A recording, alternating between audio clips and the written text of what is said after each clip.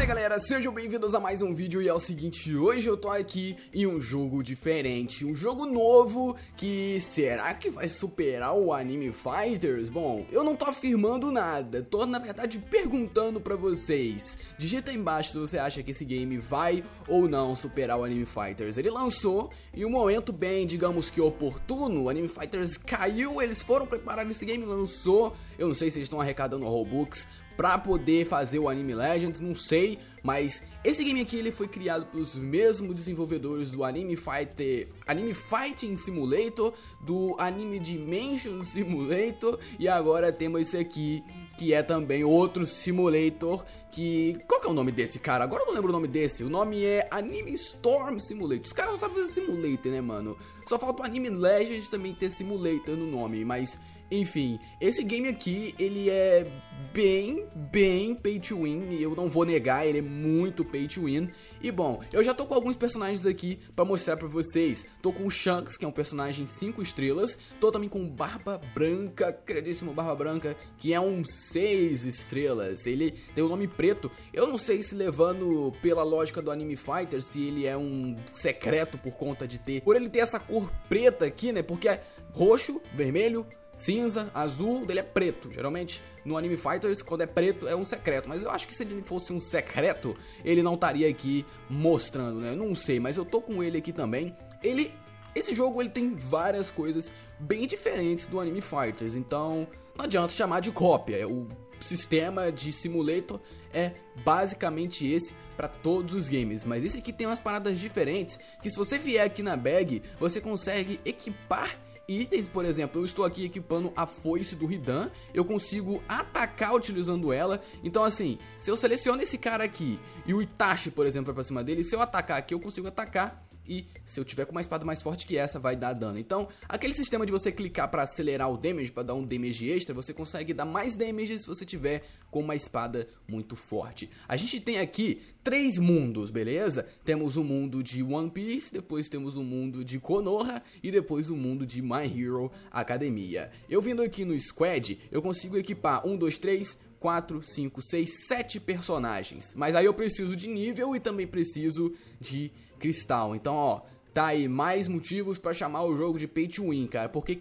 quem tem Robux compra. Eu não vou mentir, eu comprei aqui alguns slots, não comprei todos, mas comprei para poder mostrar isso para vocês. Aqui fica a loja de espadas. Eu não vou dar muito atenção para essas paradas porque é uma coisa que todo mundo já manja quando entra no jogo. Eu vou fazer uma coisa que é o seguinte, eu vou vir aqui pro mundo de Konoha para mostrar pra vocês quais são os personagens que tem aqui. Muita gente tem essa curiosidade, já que às vezes está no primeiro mundo ainda, e é bem difícil de upar de nível aqui, upar de mundo, na verdade. Bom, a gente tem os Summon Scrolls, que são summons básicos assim, a gente consegue com grana e com a grana a gente pega aqui a, e a gente consegue a grana derrotando esses personagens. Então se eu vier aqui, ó, e colocar um monte de gente para atacar, eu derroto e minha grana ali em cima, bem aqui, vai subir. Não sei se vocês conseguem ver por causa da webcam. Mas aí, mano, eu tô aqui, ó, com 9 mil. Veio aqui, você pode dar 4 giros de 800 ou um de 200 e tem a chance de pegar esses personagens, mano. Tem a Sakura, o Sasuke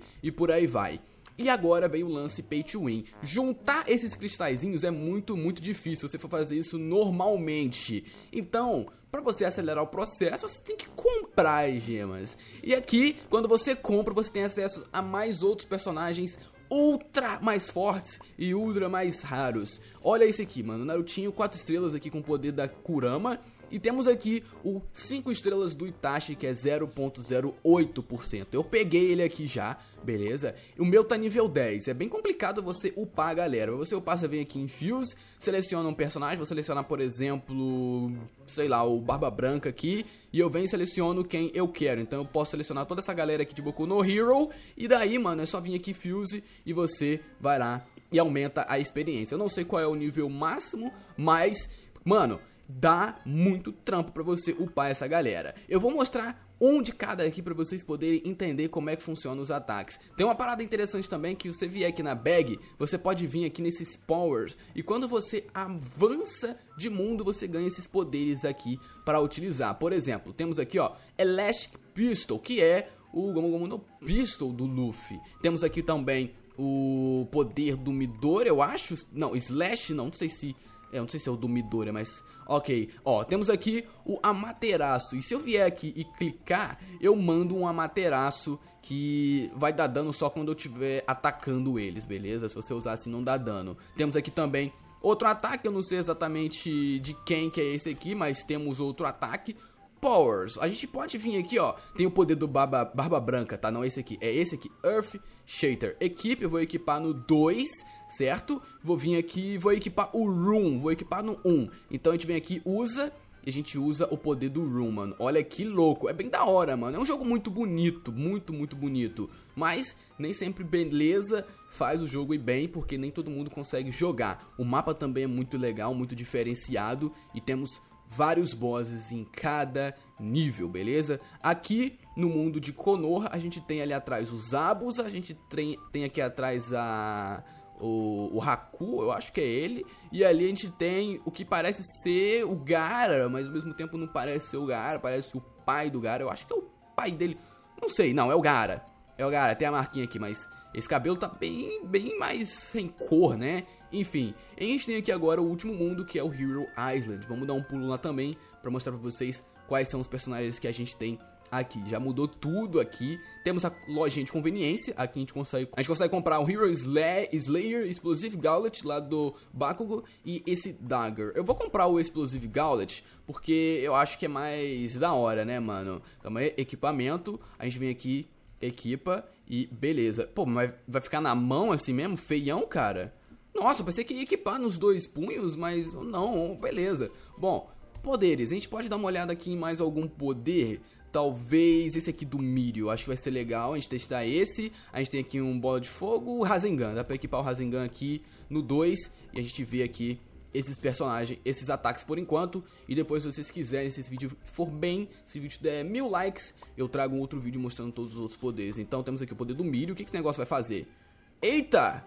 Caraca, é meio bugado, mas ok, né? E agora o Rasengan, lançamos aqui o Rasengan. Como eu falei, só vai dar damage se você estiver acertando eles aqui. Bom, vamos testar aqui alguns personagens. Eu vou lançar nele aqui, uh, foi lá o Itachi. Então, vocês podem ver que o Itachi ele lança aqui o Amaterasu, isso é bem interessante. Na real, eu acho que você ganha os poderes quando você consegue os personagens. Eu creio que seja isso. Então, como eu já tinha o Mirio aqui no meu inventário, aqui nos meus personagens, deixa eu ver, o Mirio tá por aqui? Deve estar. Tá. Eu desbloqueei o poder dele, beleza? E daí, por exemplo, eu tenho aqui... Uh, Deixa eu ver. Eu tinha peguei a barba branca, liberei os poderes dele. E por aí vai. Eu acho que deve funcionar dessa forma. Então a gente viu ali os poderes do Itachi. Então vou mandar o Itachi aqui de novo. E nesse aqui eu vou mandar mais um. Quem que eu posso mandar? Vou mandar o. Tá, foi o nosso queridíssimo Marco. Ele não faz nenhum ataque da Fênix, isso é bem triste, ele só dá uns golpes no chão. Aqui a gente pode mandar mais um, que vai ser o Shanks. O Shanks ele usa uns golpes de espada bem bacana, ou é Haki do Rei. É um desses dois, mano, alguma coisa disso ele usa. E aqui a gente pode mandar um Barba Branca. Como eu tenho dois, a gente não precisa mandar o outro. Muito bravo. Barba Branca ele é muito, muito forte. Vocês podem ver que eu tô atacando junto. Tô atacando junto. Posso mandar aqui o Rasengan, vamos usar. Deu um daninho Rasengan, vocês viram. Então é uma pegada totalmente diferenciada, cara. Eu achei bem interessante, mas vamos ver se esse jogo vai atrair uma quantidade de absurda de gente igual o Anime Fighters atraiu, porque ele, como eu falei, ele é bem pay to win e além disso, ele é bem mais lagadinho do que os outros games. A gente upou de nível, eu nem sei que nível eu tô, acho que aqui informações, deixa eu ver, nível 7. Beleza, então quando eu tiver no nível 10 eu vou desbloquear mais um slot, eu vou colocar mais um personagem aqui. Settings a gente não precisa ver, Travel a gente já deu uma olhada, tem também os prêmios diários, a gente pode pegar aqui o prêmio, beleza. E bom, o mundo de Boku no Hero funciona do mesmo jeito dos outros. A gente tem aqui, ó, no mundo. Até que nesse aqui foram justos de colocar o 1, 2, 3, 4, 5, 6 estrelas, que é o Endeavor, beleza? Aqui também você consegue utilizar, vem outros personagens mais de boas. Claro que também vem mais fácil, por exemplo, aqui o Endeavor é 0.02. Então, por ser de grana normal, ele é mais difícil de pegar. Aqui já fica um pouquinho mais fácil, né? 0.03. Vamos ver, eu tô com grana aqui? Não. Uh, aqui, eu tô com grana? Não, então eu vou vir aqui e vou gastar essa grana. É, por que que eu... Amanhã... É, tá, o jogo simplesmente bugou e eu não consigo vir aqui e pegar os personagens, mano. Como assim, velho? Como assim? O negócio não aparece? Beleza. E aqui é o que? Aqui é pra você comprar. Então veja, 6 mil gemas é 12 mil ienes. E se eu vim aqui, eu consigo ver o preço também. Calma aí que o negócio do gravador tá na frente. Calma aqui. Mano, cara, eu não consigo ver, cara. Calma aí, calma aí. Aqui. Beleza. E olha o preço das gemas, mano. 2 mil Robux. É caro, mano.